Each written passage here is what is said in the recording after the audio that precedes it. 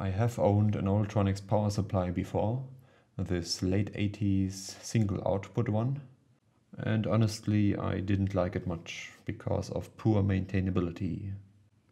You'll find out what I mean by that in a moment, because the subject of this video, a more recent model, still has the same issues. But let's keep it positive, for now at least.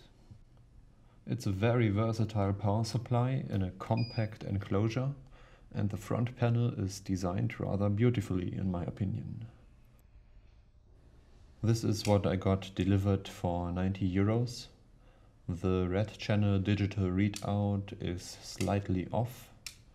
The yellow channel potentiometer knob is difficult to turn and the green channel digital readout shows inconclusive garbage almost all the time.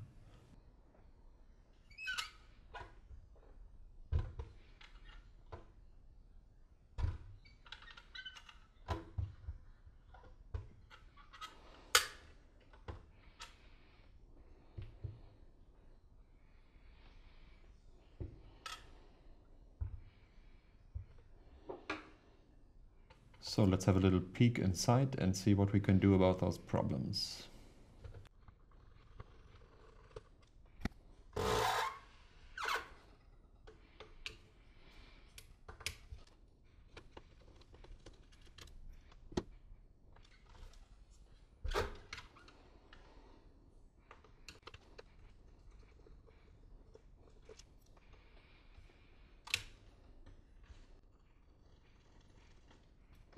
Here's where the fun starts. All those cables are soldered and they can only be detached by taking out all those transistor sockets. There are no markings of course to tell you which transistor socket goes where, so I don't feel like removing any now. That's why when tipping over the device, the weight of the top cover puts strain on the cables.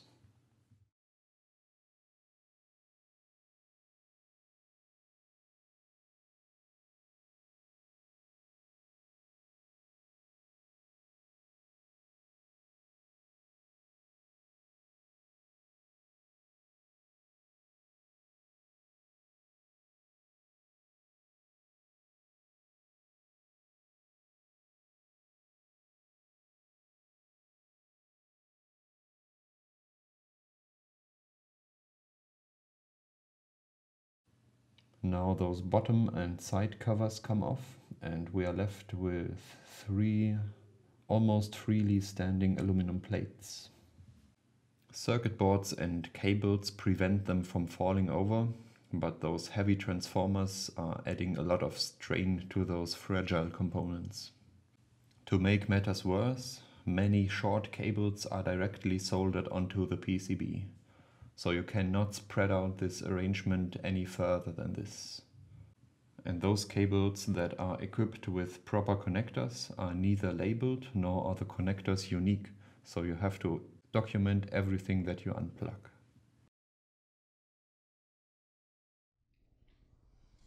Here's how to disconnect those transistor sockets, which can give you a tiny bit more room. Two screws from underneath two screws from above and just pull it off. Pretty neat design actually. Too bad they didn't follow this no solder philosophy all the way through.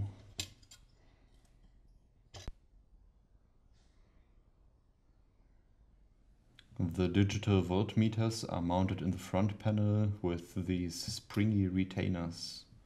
Not very difficult to unclamp but extremely fiddly to get back in. And the connectors to these are absolutely ridiculous.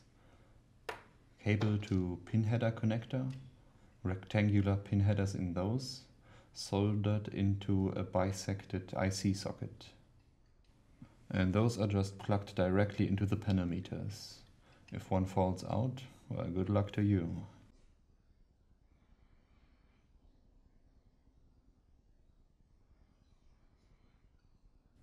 These digital voltmeters do not have to be taken apart because A, the brightness and the fine adjustment potentiometers can be reached through holes in the enclosure.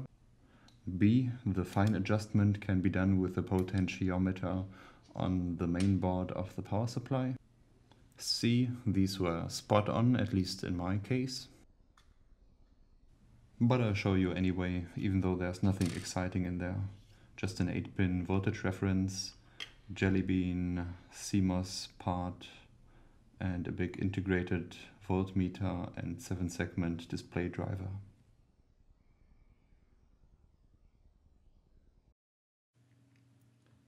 The manual, including the pinout, can still be found on the German manufacturer's website.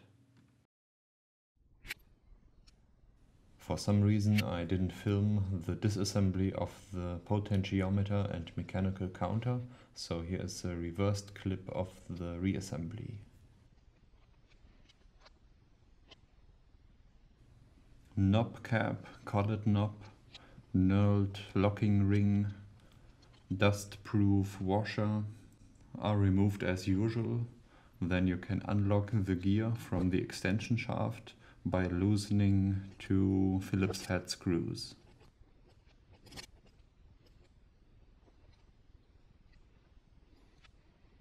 Then you can carefully unscrew the nut that holds in the actual potentiometer and pull that out.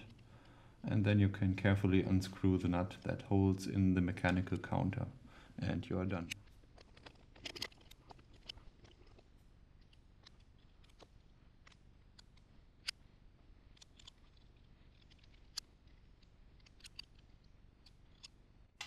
The immobility of the potentiometer knob clearly came from the fitting of this extension rod in the lockable brass bushing. A bit of penetrating oil did not help at all, so I used this crude but effective automotive valve lapping technique. I applied some metal polishing compound to both parts and now I'm just rubbing their surfaces together to polish out any high spots.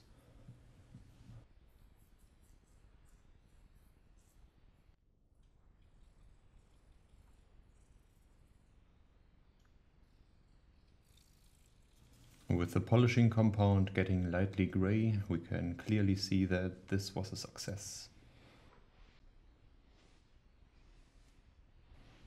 The misbehavior of the green channel could easily be explained by a broken LM358 double op amp. And because I had it in stock and it was right there in front of me, conveniently socketed, I just replaced it.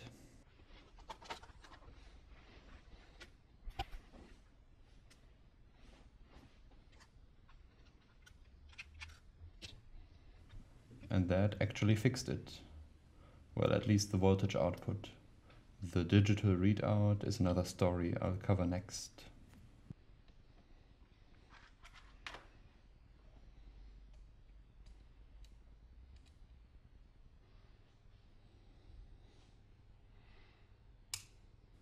The voltmeter seemed to show whatever it wanted whenever it wanted.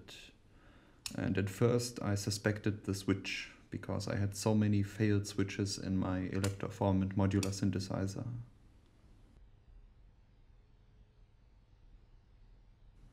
When that led to nothing, I basically had to poke around at all of these components. And I did that for a ridiculous amount of time.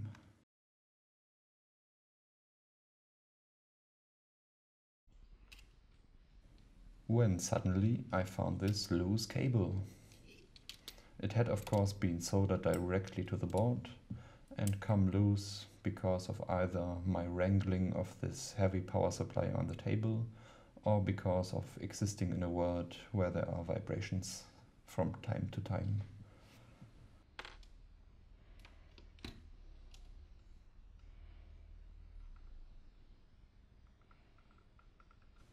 Well, it took another pinhole surgery to reattach that, and that was the end of it, pretty much.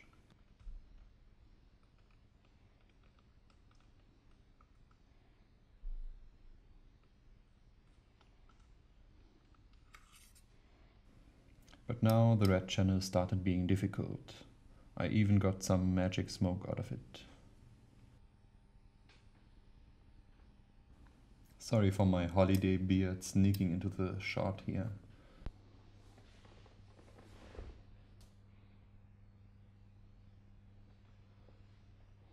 But to cut another long story short, that was just an incorrectly placed connector which would not have happened if they were labeled or unique. But that's all fixed now and we can start calibrating the output voltages.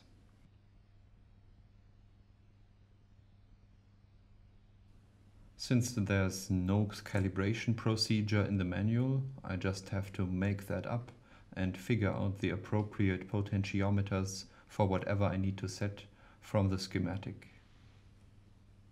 I'll post a link to an augmented photo of the potentiometer holes in the circuit board in the description of this video.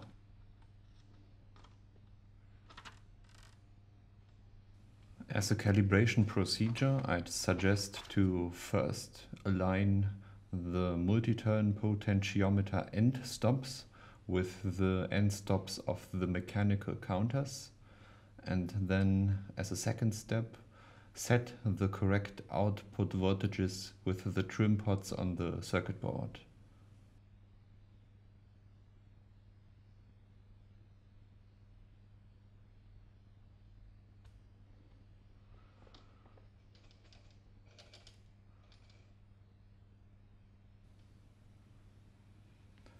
Alright, that's about it for this video. Sorry that the production value was relatively low this time. The repair job itself was quite exhaustive already. I didn't have much energy left to put in this video. My final verdict on Oltronix power supplies is good components, terrible wiring, beautiful user interface, fairly unreliable, but if you have the patience to do a lengthy repair like this, you get great value for your money. An equivalent power supply would cost hundreds of dollars, even if you buy it from China.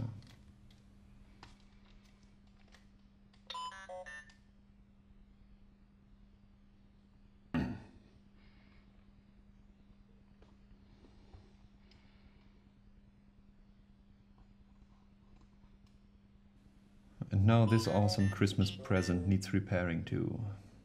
But I think I'll take a short break before that.